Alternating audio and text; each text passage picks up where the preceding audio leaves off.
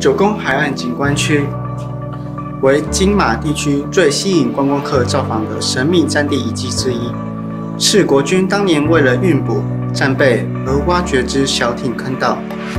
各坑道形式虽有差异，然基本功能与必备条件就是在坚硬掩体下，避免运补过程遭受炮火攻击。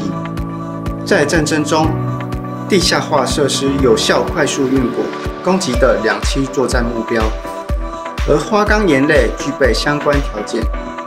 参访烈屿乡的九宫坑道，可以感受当年国军人工开凿的艰巨，以及那鬼斧神工的雄伟气势。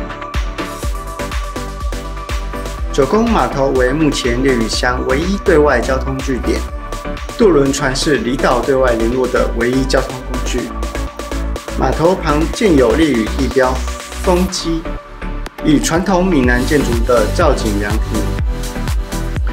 下船后步行至九宫坑道，便可欣赏坑道出海口海水涨潮与退潮景观。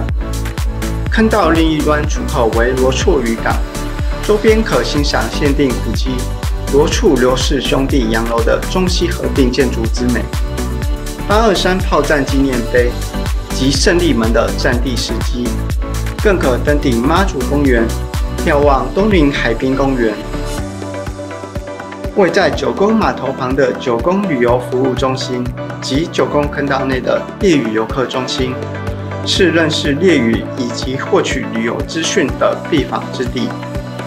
由九宫码头步道沿途至罗厝海港外为杂角沿岸，可以看到花岗沿岸。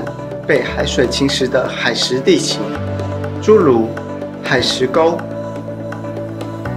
花岗片麻岩上的侵入岩脉，接力美不胜收。步道沿着海岸绕行，可步行至据点观景台，欣赏宁静的海石地形，并体会当年国军官兵们的辛苦血泪史。九宫海岸景观区。期待您的到访。